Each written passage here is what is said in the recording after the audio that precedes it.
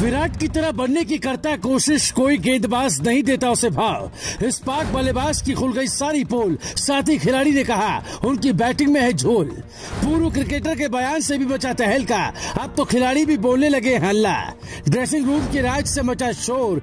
King का अब भी नहीं कोई शोर कहते हैं ना, हीरे को परखना है तो अंधेरे का इंतज़ार करो। धूप में तो कांच के टुकड़े भी चमकने लगते हैं। जी हाँ हमारी बात सौ फ़ीसदी सही साबित होने वाली है। दरअसल खिलाड़ी और क्रिकेट एक्सपर्ट अक्सर ही।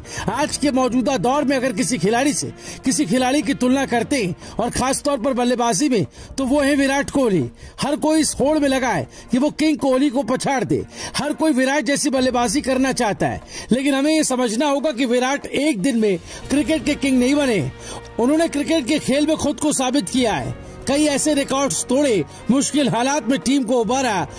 अगर दिन देखा तो काली रात भी देखी। वो काफ़ी समय से आउट ऑफ़ फॉर्म भी थे। उस हालात में एक्सपर्ट्स ने भी एक वक्त उन्हें टीम से बाहर तक करने की वकालत कर दी थी, जिसे देखो हर कोई विराट को सलाह देने में लगा था। कुछ लंबे अरसे तक विराट का बल्ला खामोश रहा। फिर भी अगर आंकड़े देखे तो विराट के आसपास कोई भी बल्लेबाज नहीं आ सका। दे तो दिया था किंग ने सबको मौका। फिर क्या हुआ? किसी भी बल्लेबाज में इतना दमखम नहीं था कि वो इस दौरान विराट को पार कर पाए। लाख कोशिशों के बाद भी कोई भी बल्लेबाज विराट को नहीं कर पाया पार। लेकिन आज भी कई बल्लेबाज खुद को विराट ही समझते। उन्हीं में से एक है पाकिस्तान क्रिकेट टीम के कप्तान और बल्लेबाज बाबर आज़म। इसमें कोई दो नहीं कि बाबर का नाम भी अब शुमार दुनिया के बेहतरीन क्रिकेटर्स में होता है।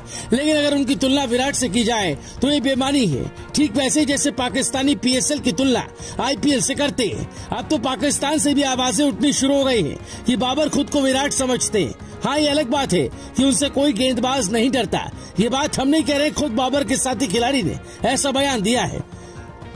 यही नहीं, पूर्व क्रिकेटर शाहिद अफरीदी ने भी साफ़ तौर पर कह दिया है कि बाबर में अभी वो काबिलियत नहीं, जो उनकी तुलना विराट से की जाए।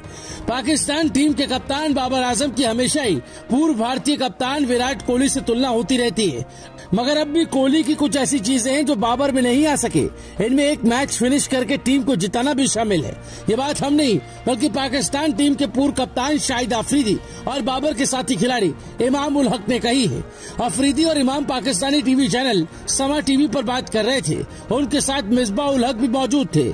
इसी दौरान इमाम ने कहा कि बाबर अपनी तुलना कोहली से करता है। हालाँकि वो मानता है कि इतनी क्रिकेट खेल चुका है, लेकिन अब तक कोहली की तरह डोमिनेंसी नहीं आई है। उससे कोई गेंदबाज भी नहीं डरता है। वहीं पूर्व पाकिस्तानी ऑलराउंडर शाहिद अफरीदी ने कहा, बाबर आज़म टीम को मैच नहीं जिता सकता, मगर एक एंड पर खड़े होकर दूसरे बल्लेबाजों को खिला ज़रूर सकता है, क्योंकि बाबर अपनी पारी को बनाने के लिए टाइम देता है।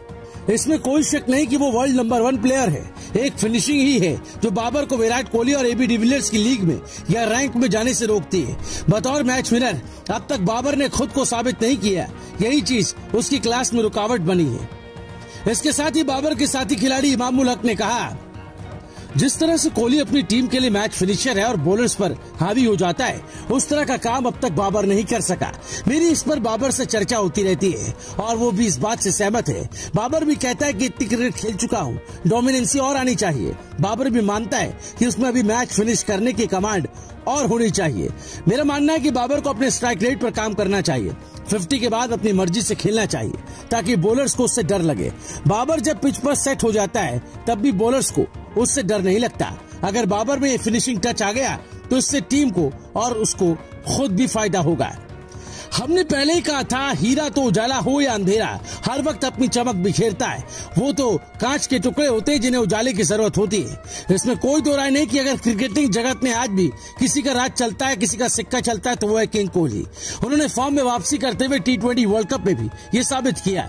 उन्होंने दिखा दिया कि क्लास क्या होती है। फॉर्म तो आनी जानी चीज़ है। ऐसे में अगर बाबर और कोहली की आपस में तुलना होती है तो ये भी फैंस के साथ बेमानी ही होगी। वैसे बाबर आज़म, क्या विराट कोहली के बराबर कभी आ पाएँगे? इस बारे में आपकी राय क्या है? आप हमें कमेंट कर बता सकते हैं। मेरी रिपोर्ट, भारत पॉजिटिव।